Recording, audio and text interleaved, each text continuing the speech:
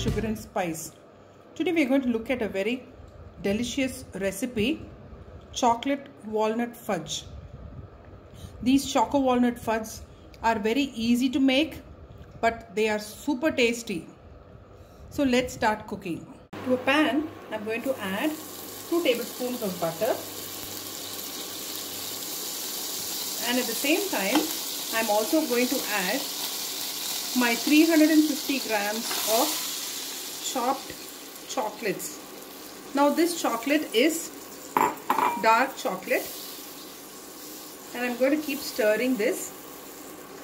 Just make sure that it does not catch at the bottom and I'm also going to add my 400 grams of condensed milk. Since the chocolate I'm using is dark chocolate and it is bittersweet the sweetness from the condensed milk is going to more than substantiate for the richness of the chocolate now I need to keep stirring continuously till my chocolate is all melted even as my chocolate is melting I'm going to add a tablespoon of good quality cocoa powder. What the cocoa powder does is it actually enhances the chocolatey flavor and taste of the fudge. Now as I keep stirring you can see that my chocolate is almost melted. My saucepan is hot so I don't have to spend much time stirring but I'm going to cook my fudge with the heat that is already there in this liquid. So I'm going to switch off and also add vanilla essence for that extra punch. Stir it well. Just be sure that there are no chocolate bits which is still not melted. You can see that. Within no time the fudge will start to thicken. It's a super easy sweet. See that the chocolate is all melted.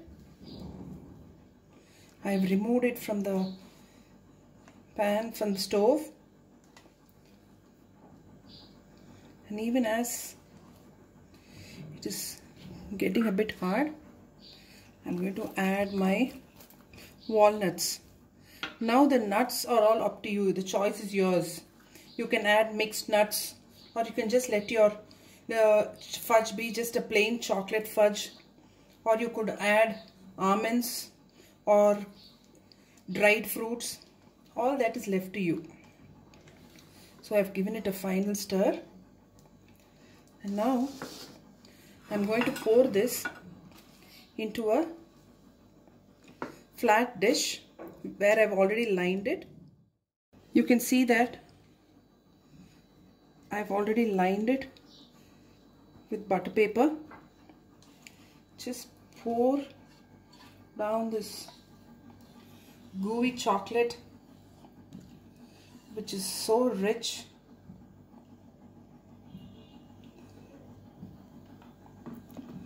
and it will take anywhere between 4 to 5 hours to set. I'm just making sure that it's spread clearly properly. It's level. Since it's a gold it's a glass bowl that I've taken I cannot tap it. I'm just using the spatula to even out. And now I'm going to let it rest in the refrigerator for at least 4 to 5 hours. It has taken me almost 4 and a half hours for it to settle. You can see that it is quite firm to my touch. So all I'm going to do is just pull it out. It comes off so easily. I'm going to move this away. And you can see how easily this peels off.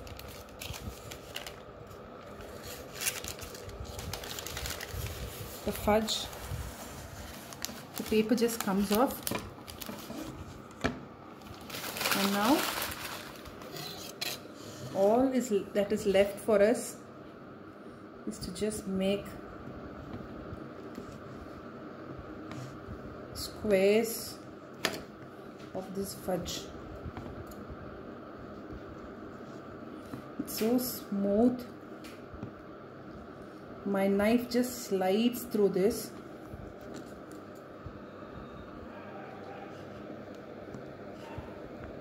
And you can make squares the size the way you want it.